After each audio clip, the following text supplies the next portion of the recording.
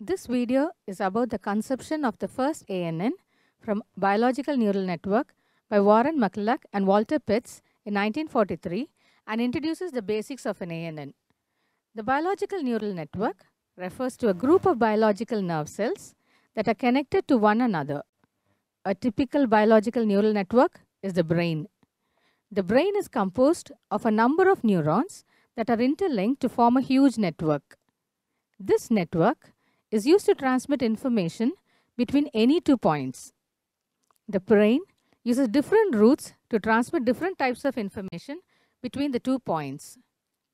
Let us assume a neuron wants to pass message to another neuron. The source neuron sends message through axons as electrical signals. These are received by the dendrites of the receiving neuron and are processed. The figure shows the structure of the biological neuron.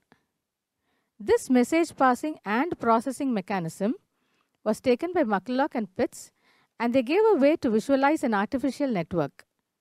In its simplest form, the MCP neuron has Boolean input and a Boolean output and there are only two layers, namely the input layer and the output layer. To explain the MCP neuron, let us consider a training data set with two features x1 and x2. The objective is to solve a binary classification problem where the classes are defined using the logic of the AND gate. That is, if the values of the features are 0 and 1, the output should be predicted as class 0, while an input of 1 and 1 should predict 1. McCulloch and Pitts were the first to give a successful model of the biological neuron. They visualized the input as the values of the features and they were given as input to another neuron which was expected to process the input and produce the desired output. The processing was performed by the output neuron. Remember, there is no processing in the input layer. This is the reason for the literature never considering the input layer as a layer and the network considered is said to be a single layered network. The first challenge in processing is to combine the input which is achieved by summing them.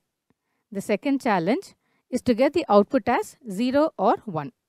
This conversion to the required output is performed using a function named the activation function.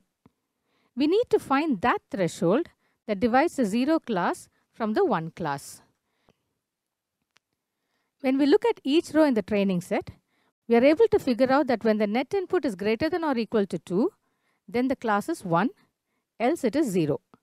This function is called the binary step function because there are exactly two steps representing the values 0 and 1. When we tried to find the threshold to split the classes, we manually looked at each row in the training set and figured it out. This is fine as long as the number of samples in the training dataset is small. Can you imagine how you will figure out the threshold when there are numerous rows? This is a disadvantage of the MCP neuron, but McCulloch and Pitts have given us a way to visualize the biological neural network as an artificial neural network. Now all we must do is improve this architecture to learn all types of data sets. Question time. Now what changes do you need to make to classify a data set that resembles the working of the OR gate?